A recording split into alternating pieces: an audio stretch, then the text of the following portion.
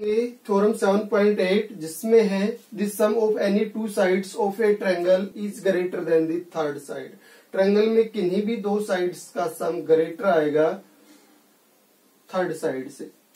Given के according एक triangle ले ABC A B C given में अगर हमने फिगर बना लिया है ट्रायंगल एबीसी तो गिवन है ट्रेंगल एबीसी कोई कंडीशन नहीं है इस ट्रेंगल पे।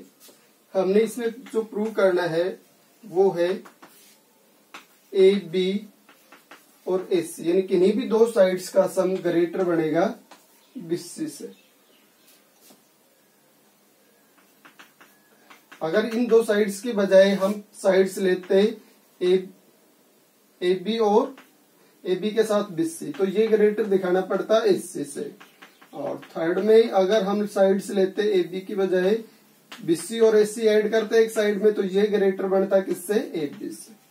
इस टाइप से किन्हीं भी दो साइड्स का सम तीसरी से ग्रेटर होता है ट्रायंगल में। ये चीज़ हम प्रूव करके दिखाएँगे। तो इनमें से हम कोई भी एक प्रॉपर्टी अपनी कंस्ट्रक्शन से प्रूव कर देंगे और दूसरी साइड से फिर से उस ट्रायंगल पे दूसरी वैसी कंस्ट्रक्शन होगी तो दूसरी प्रॉपर्टीज़ भी प्रूव हो सकती है। तो इसमें हमने जो कंस्ट्रक्शन करने है, वो कैसे करनी है कि ए बी को इस टाइप से या बी ए को इस टाइप से हमने प्रोड्यूस करना है पॉइंट डी तक सच दैट ए से जो डी तक की डिस्टेंस बनेगी वो एस सी के इक्वल बन जाए। यानी ये दोनों साइड से इक्वल बन जाए। ये कंस्ट्रक्शन हमने इसमें करनी है।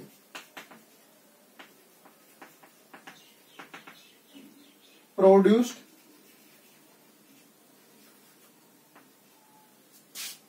B to D such that किस कंडीशन के साथ इसको हम प्रोड्यूस करवाएँगे कि ए से डी इक्वल बन जाए ए से सी के। फिर इसका प्रूफ देंगे हम। प्रूफ को हम इजी बनाने के लिए एंगल्स के नेम डिसाइड कर देते हैं। इसको एंगल वन इसको टू इसको थ्री और इसको एंगल फोर अब अपने पास ये जो ट्रेंगल है, ये आइसोसेल्स है यानी A D C in triangle A D C अगर आइसोसेल्स है तो दो एंगल्स इक्वल हो जाएँगे। इक्वल साइड्स के अपोजिट एंगल्स क्या होते हैं? इक्वल ये चीज़ हम प्रूव कर चुके हैं। तो एंगल एसी और एडी इक्वल है इस एंगल में। तो एंगल थ्री और एंगल फोर क्या हो जाएँगे? इक्वल अगर एंगल थ्री और फोर इक्वल होते हैं तो हम अकेले फोर को कंपेयर करवाएँ इस पूरे एंगल से।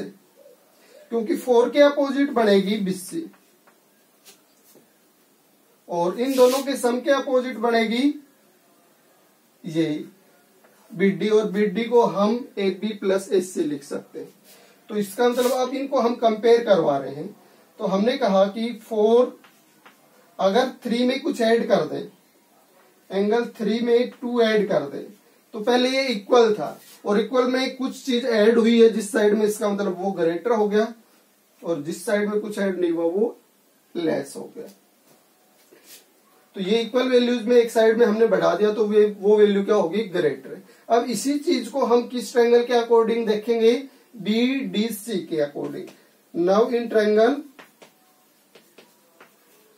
B D C B D C triangle यानी कंप्लीट ट्रायंगल में जो हमने शॉर्ट एंगल बोला है एंगल फोर उसके अपोजिट बीसी है, इसलिए ये शॉर्ट होगी।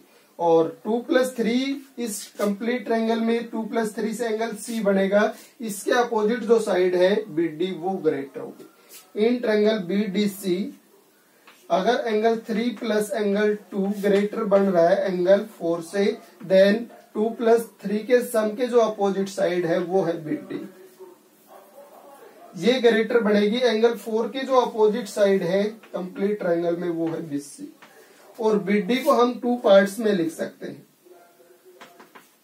बीडी को लिख सकते हैं A B plus A D ये ग्रेटर हो जाएगा बीसी से। और फिर ए बी और ए डी को कंस्ट्रक्शन के अकॉर्डिंग एस सी के इक्वल बनाया गया था। तो ए डी की जगह एस सी आ सकता है।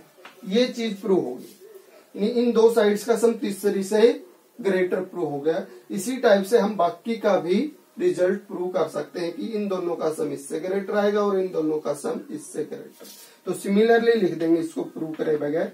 सिमिलरली जिस टाइप से ये चीज़ प्रूव हुई है, उसी टाइप से A B plus BC prove हो जाएगा ग्रेटर एसी से। और जो बच गया बीसी प्लस एसी ये ग्रेटर प्रूव हो जाएगा ए बी से